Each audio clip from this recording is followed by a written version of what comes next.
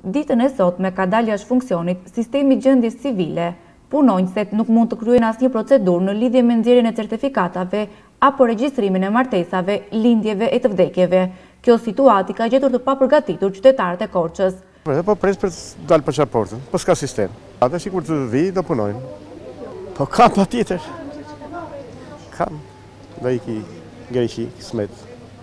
Kam një punë. Pashaportë, ashtu, mirëpo nuk punon gjendja civile, kishte, si s'kishte sistem ashtu edhe tani do ashtu për nesër më thanë. Po, po, aplikim të ri ashtu. Po bëj 5 ditë, po nuk po ashtu dot, nuk po bëjmë dot. Kam ardhur të premte, sot më thanë nuk ashtu, po bëjmë dot punë. Për Greqi, për pashaportë ashtu. për pasaportën.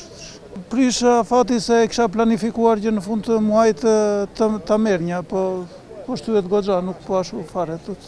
Për nesër, nesër do filloj sistemi i gjendjes civiles, të shojmë gjer nesër. Do bëjmë një pasaportë, na ka humbur pasaporta, edhe njëra ka mbaruar. Po na thanë plotëso, do të vish plotësosh formularin një herë këtu, tha edhe vesh shenjat e gishta. Sistemi i Albanias nuk punon sistemi, tha. Po këta punojnë. Burime zyrtare pranë Zyrës Vendore të Gjendjes Civile në Korçë kanë bërë të ditur se po punohet për rikthimin në punë të sistemit. Ndërkohë që prej orës nëntë të mëngjezit të sotëm është rikthyer shërbimi pranë Zyrës së Aplikimit të Aleat për dokumente biometrike, pasaporta dhe karta identiteti, por mosfunksionimi i sistemit të Gjendjes Civile ka penalizuar të gjithë ata persona që duan të kryejnë një aplikim për herë të parë si dhe ata të cilët nuk kanë të rregulluar toponimin e vendlindjes.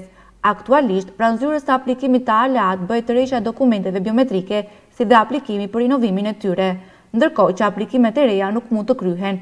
Po ashtu bëhet e ditur se formulari i aplikimit për pajisje apo rinovim të pasaportës është duke u bërë në mënyrë manuale pranë komisariatit të policisë për shkak të mosfunksionimit të sistemit.